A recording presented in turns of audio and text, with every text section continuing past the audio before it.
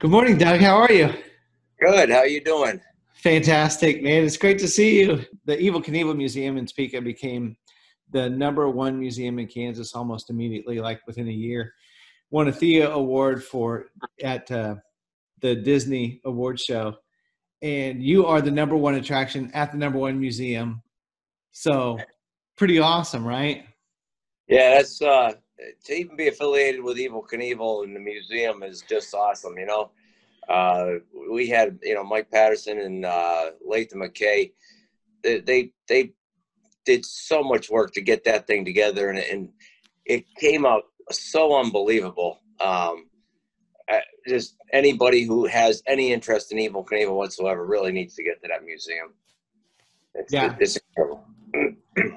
So, have you you strapped on a, a, uh helmet with that weighed 15 pounds, right? Uh, 15 pounds more than a normal helmet. uh, how'd you get roped into doing that? Oh, it's not roped into it, man. It was uh, when they told me what it was for, we had to do it. You know, it's like eh, the idea that somebody could do a motorcycle jump in virtual reality is incredible. And I, you know, I, I like I said, I wasn't sure I was going to come out, but we jumped over those 15 police cars, and uh, yeah, we we landed it okay with that big heavy helmet. But the I I went and I did the ride once I got it up and going Yes. after I got done, I felt like I had done my first practice jump. It's that real. It was just incredible. Uh huh. And have you watched how much joy this brought others? a couple times, I saw some lady screaming through the whole thing. yeah, it was. As you know, uh, anytime you can put a smile on somebody's face, you've had a good day, and that's been my job my whole life. You know, I, I, I just love seeing people happy. yeah. It's working in Topeka, whatever you're doing. I haven't been there in a few years. I'd like to get back there. A lot of nice people I know out there. Dude, it's time. So, Yeah, the, uh, we're, we're talking about going out there. Uh, I know that you talked about it. My book just came out. We're talking about going out there to do a book signing. So if anybody wants to uh, wants to come out and meet me, I'll be at the museum. Uh, I don't have the date yet. I still have to confirm it with them. But uh, Doug Danger, Dare to Dream just came out. Uh, you can order your book online at dougdanger.net, or you can just wait until you get to the museum and I'll have books for sale there and I'll sign them for you. So where are you taking your speeches? Do you go to uh, children's charities or schools or um, shows? Well, I, I started out doing school speeches uh, for the kids to stay away from drugs and an anti anti bullying thing. we did the boys and girls clubs in Topeka. Um, Oh, cool. we're we're getting ready to do some corporate stuff now.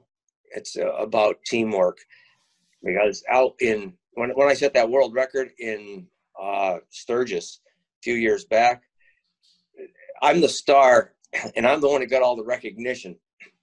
But it there was almost 500 people involved in putting that jump together. And, and giving credit to your team. And another part of your inspiring story is the team that uh, saved your life from cancer. Yeah, uh, that was that was a pretty pretty incredible ride. Uh, not one I care to do again.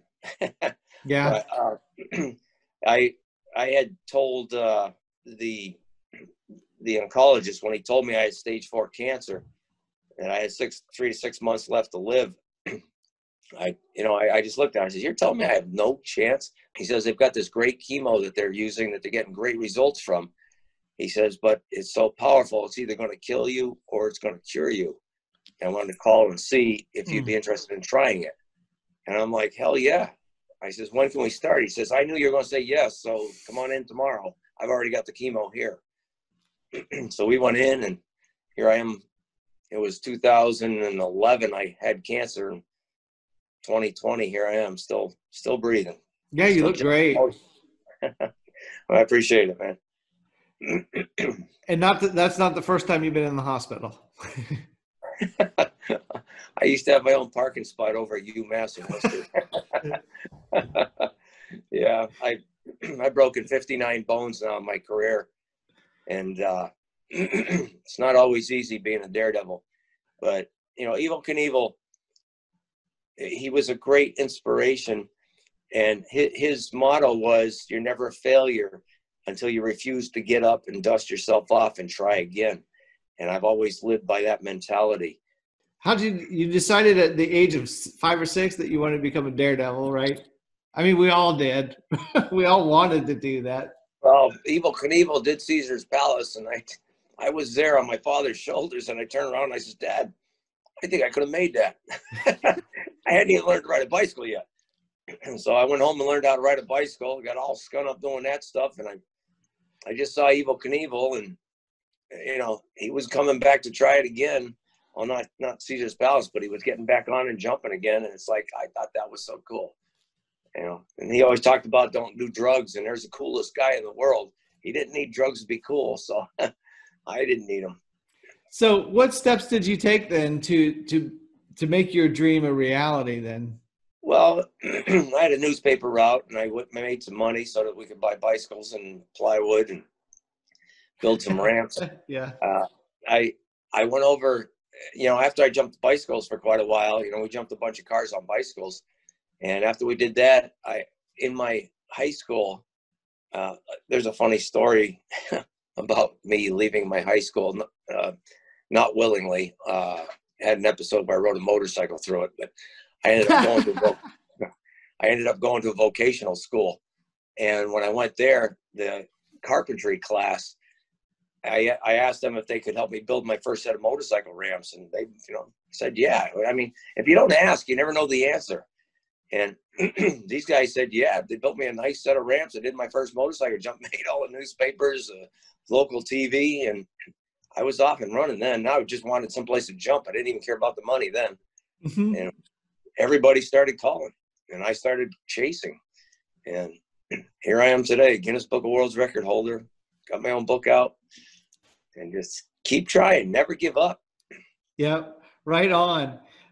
Uh, where'd you learn the showmanship part of it? Oh, I was. Uh, I had a guy named Russ Conway that was going to be my agent, and he says the first thing you got to do is he says you got to learn learn showmanship.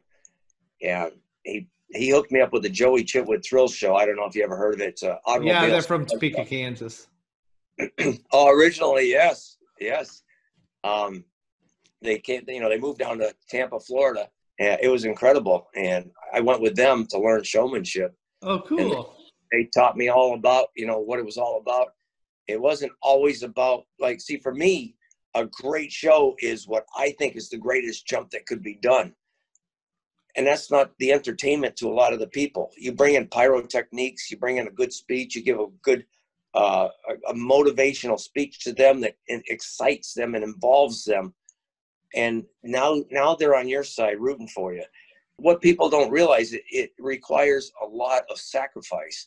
I'm getting mm-hmm. ready to do some B rolls for a big TV show that we're putting together right now and we've got to put all new plywood on the ramp so I can go do a couple of practice jumps for them to film.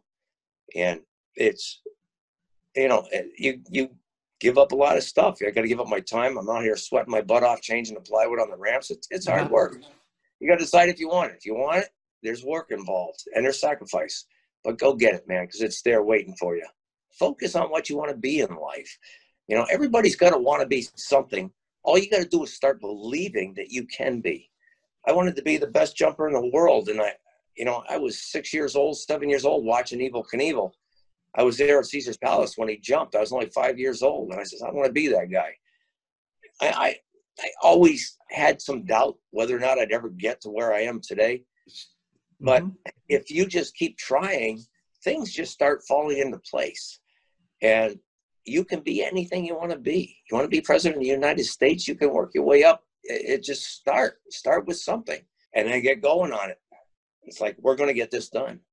Well dude i cannot wait for you to come to topeka. I didn't even know you were coming. That'll be great.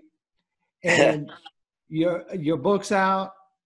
Can you tell us again how to get that book yeah the funny thing is say they don't even uh, you didn't even know that i was going there i'm not sure they know yet either uh, okay i won't tell them I, I, I talked with them uh, my buddy Lou Ray is bringing out uh, one of Evel's bikes, an original American Eagle that he's getting all shined up and cleaned up. And I saw sure that, that on the Facebook. Yeah, he's bringing that out, and he had talked to me about coming out to do a book signing at the same time. So I I, I still got to talk with those guys, but I'm pretty sure that that's that's what I'd like to go out. I, I haven't been to the museum in a couple years now, and I got to go back. I got to ride my own jump again too. but anyways, the book it's called Doug Danger Dare to Dream. You can you can get it on Amazon or any of the other places. But if you go to dougdanger.net and click on the spot that says get an autographed copy, it will be sent right from me. And That's so nice of you. Well, Doug, th- thanks for being such an inspiration to all of us in so many different parts of our lives. Uh, I've got one more favor to ask of you. It's another virtual jump. If you're willing to strap us on the back of your motorcycle and uh, take us out of 2020, just oh yeah, yeah, okay. vault us right over it. Yeah, We're, it's uh, it, you know what? We'll put a big 2020 and I'll jump it, and it'll on the Lantern River 2021. All right, I'm ready. I'm ready, buddy. well, it's been a rough year, but again, remember, the bright light is waiting. This whole garbage to end. Uh, a lot of people think it's going to end after November. I don't mm-hmm. know, but there's a lot of people. Coronavirus is a serious thing, people. Pay attention, be as safe as you can. Doesn't mean stop living. Stay out there living. Just protect yourself. And go on living, man. America's the greatest country in the world, and enjoy. Right on. Well, Doug, good luck with your book, and as always, happy landings. All right, man. Happy landings, guys.